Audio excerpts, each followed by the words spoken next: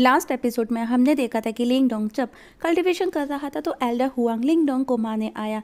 लेकिन दी आओ और जियाओ ने मिलकर के उसका सामना किया। दोनों काफ़ी देर तक उसको रोके रखते हैं, लेकिन आखिर में वो हार मान जाते हैं, लेकिन तभी लिंग डोंग आकर के उसे बहुत मारता है। लेकिन दोनों के बीच में बराबरी की टक्कर हो रही होती है, तभी कियान आकर के उसे बचा करके वहाँ से अपने साथ में ले जाती है, क्योंकि एल्डर हुआंग उस पर भारी था।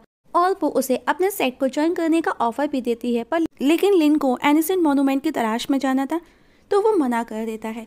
तो दोस्तों देखेंगे आज के एक्सप्रेशन में क्या होगा कौन कौन पहुंचेगा एनिसेंट मोनूमेंट पर? तो चलिए स्टार्ट करते हैं।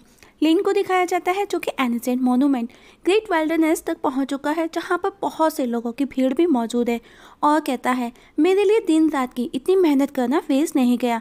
मुझे आखिर में मेरी मंजिल मिल ही गई। तभी वहाँ पर गुजियान जिन के लोग भी आ जाते हैं, जो कि बहुत सारे थे। तभी वहाँ पर किसी की एंट्री होती है, मानो कि वो उनका कोई हेड हो।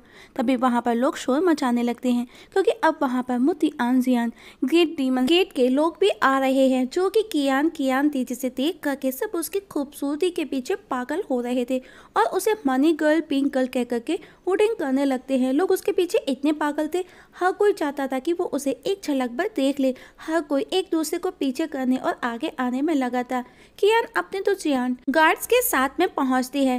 वो लिंक को देख करके स्माइल पास करती है जो उसी भीड़ के बीच में खड़ा था और लोगों को लगा कि वो उनको देख करके हंस रही है। लिंक उसे चुप रहने का इशारा करता है, तभी वो देखती है कि एक बंदा जो दो लोगों को टॉर्चर कर मार रहा था और वो उन्हें मार करके उनकी एनर्जी को एब्जर्व कर लेता है। लिन और कियान भी देख करके हैरान थे। तब उसके कार्ड्स भीड़ को रास्ता देने का बोलते हैं, वरना वो सबको ऐसे ही मार देगा। सब रास्ता छोड़ देते हैं, सब साइड में हट जाते हैं और वो कियान की तरफ़ आने लगा। तो कियान के गार्ड्स भी आगे बढ़ते हैं, पर कियान उन्हें शांत रहने का बोलती है, क्योंकि कियान उसे पहचानती है और पूछती है कि क्या आप Yang Sek master Tang Shao, Ying Kuizong है? ये सुनकर के लिन चौंक जाता है कि ये किंग कुइजोंग फिर से कैसे? वहीं कियान कहती है, सेक मास्टर टेंग शाओ, आपसे मिले काफ़ी लंबा समय हो गया। और मैंने आपको हर समय बहुत याद किया। मतलब कि वो उसे रिझाने की कोशिश कर रही थी, जिस पर टेंग शाओ कहता है, मेरे लिए तुम्हारा यूँ मुझ पर, तुम्हारी खूबसूरती का टोरे डालना वेस्ट है। यूँ बर्बाद मत करो, मुझ पर कोई भी फ़र्क नहीं पड़ता। जिस पर कियान उसका मज़ाक बनाते हुए कहती है मतलब मास्टर टेंग शाओ मरे हुए लोगों में इंटरेस्ट रखते हैं। तब टेंग शाओ कहता है, हाल ही में डाहुआंग सिटी में लिंगडोंग नाम का एक लड़का आया था, जिसने हुई जोंग को मार डाला। मुझे उसकी तलाश है, वो मेरा दुश्मन है। मुझे हुई जोंग का बदला लेना है और मैंने सुना है कि तुम दोनों काफ़ी क्लोज हो। कियान कहती है, आपको जो खबर मिली है वो गलत है। मेरी उससे कभी कुछ मुलाकातें हुई थी। ऑक्शन के समय मैंने उसे देखा था हॉल में। सबसे ज़्यादा बोली लगाने वाला वही था। इवन सबसे ज़्यादा दाम भी उसी ने दिए। लेकिन जहाँ तक मुझे पता है कि वो दाहुआंग को कब का छोड़ चुका है टेंग सौ पर उस पर यकीन नहीं होता। कियांग कहती है, वो उससे ज़्यादा नहीं मिली और मैं उसे ठीक से जानती तक नहीं।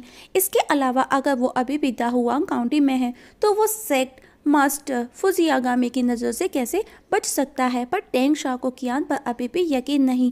तभी उसे कुछ आभास होता है और वह पहचान जाता है कि वो लिन है और वो लिन पर हमला कर देता है। लिन भागता है, पर वो उसे भागने नहीं देता और लिन को अपने सामने ला करके पटक देता है। ये देख करके खुद कियान भी हैरान थी। एंग शाओ कहता है तुम कुछ ज़्यादा ही स्मार्ट हो। तुमको क्या लगा कि तुम बच करके निकल जाओगे?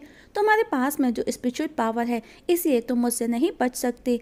ये देख करके लिंग डोंग उठ करके सेक मास्ट टेंग शाह को अपना इंट्रो देता है। वहाँ मौजूद लोग भी आपस में लिंग को देख करके बातें बनाते हैं कि ये वही लिंग डोंग है जिसने जिसने हुओ जोंग को मार डाला और सब उसकी तारीफ़ भी करते हैं कि वो कितना छोटा है और कितना बहादुर है कि उसको मारने से भी डर नहीं लगता। लेकिन फिर भी तुम्हारे यहाँ एनिसेंट मोनूमेंट ग्रेट वाइल्डनेस में आने की हिम्मत कैसे हुई?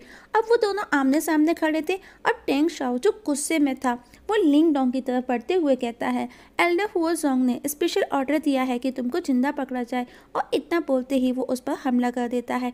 लिन भी उसे जवाब में हमला करता है, पर लिन देखता है वो काफ़ी पावरफुल है। दोनों के बीच में कंटिन्यू फाइट होती है, दोनों अपनी अपनी पावर का यूज़ करते हैं, पर कुछ ही देर में वहाँ धुंध सी छा जाती है और उसमें से वही पपिट बाहर निकलती है जो हुआ जोंग के साथ में थी। लिन देख करके चौंक जाता है और कुछ और कार्ड्स भी आकर के लिंग को खेल लेते हैं। लिंग कहता है, अगर हिम्मत है तो अकेले लड़ो। तब टेंग शाओ अपने लोगों से कहता है मैं अकेले ही इस बंदी का शिकार करना चाहता हूँ और सभी गार्ड्स को पीछे हट जाने का बोलता है। सभी गार्ड्स पीछे हट जाते हैं। दोनों लड़ने को तैयार थे, पर तभी वहाँ पर आसमान में फायर बर्ड्स मंडराने लगती हैं, जो कि राजकुमार के आने का सिग्नल था और वही राजकुमार भी आ जाता है। वहीं दियाओ लिंग को कहता है मतलब वो उसे वार्न करता है टेंग शाओ तुमसे कहीं ज़्यादा ताकतवर है। तुम अपने करंट स्ट्रेन के साथ भी उसका सामना नहीं कर सकते।